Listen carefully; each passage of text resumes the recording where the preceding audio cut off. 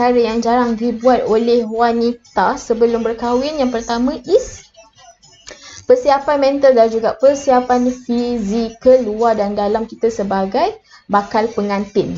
Contoh eh, kalau dalaman kita tak sihat, lah dalaman kita tak tahu sakit apa. Ha, okay. So kalau katakan kita tak tak tak check, kita tak particular dengan kesihatan dalaman, so luaran kita akan nampak sakit sebenarnya. Sebab wanita ni dia macam bukanlah fragile. Maksudnya kita ni uh, berisiko. Berisiko untuk menghadapi masalah dalaman bahagian wanita kita tu is our priority okay? Sure bakal-bakal pengantin dapat tidur dan rehat yang cukup. Lepas tu rancang. Rancang jadual tu. Uh, lakukan senaman ataupun uh, relaxing.